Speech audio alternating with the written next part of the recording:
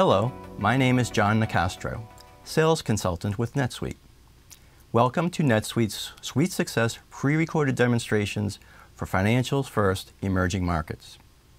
NetSuite's robust financial reporting is comprised of rich, actionable dashboards with KPIs and analytics, comprehensive pre-built financial reports giving our customers the real-time ability to monitor their businesses, dynamic reports that allow for slicing and dicing of information by leveraging NetSuite's flexible segments, and all reports have drill-through capability down to the transaction level detail. Let's dive into the demo. In this video, I will assume the persona of a finance person. Having logged into NetSuite, you'll notice my role-based dashboard has everything I need as a controller. NetSuite emphasizes enhancing the productivity of our users through simple, user-friendly dashboards containing valuable real-time information geared towards my particular role. My dashboard contains a host of current information at my fingertips, charts, graphs, and analytics. In this case, key performance indicators where I can quickly gauge the health of my company. This month, it appears that while revenue is up 8.3% from the previous period, our expenses are increasing at a higher rate of 10.4%. This can be an indication of issues within our cost structure. As a result, my CFO has asked me to take a deeper dive into the expense area. Drilling into my expense KPI, I am instantly taken to my income statement. I have been keeping an eye on our payroll expenses lately. Let me take a look at account 6210, salaries and wages.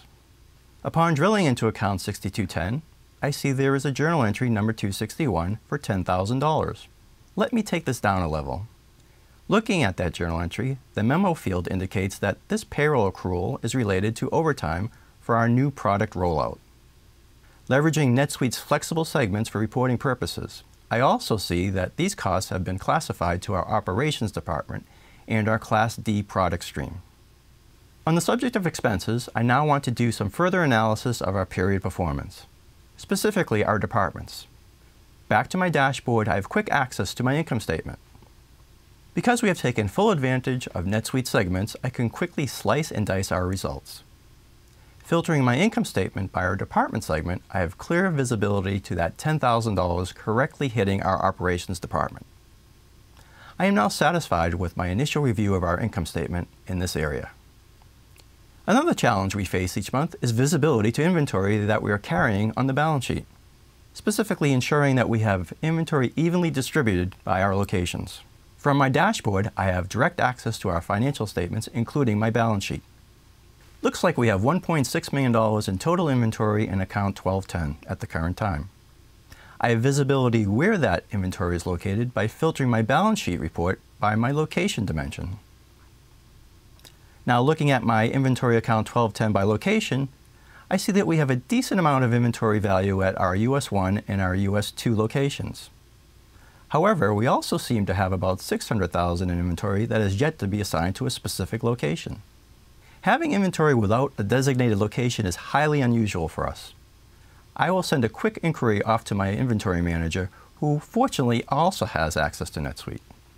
I'm going to click the email icon link, which opens up an email. I type in my message in the body of the email, and I could even attach a file or document to the same message. All done right from my report. Then just hit the send button. Because I have all the reports and analytics right on my dashboard, I was able to do a quick analysis of my payroll costs and department results. I then isolated and investigated potential inventory situation in a matter of minutes. In general, I now spend less time compiling and more time analyzing the data, which allows me to become more proactive instead of reactive as a controller.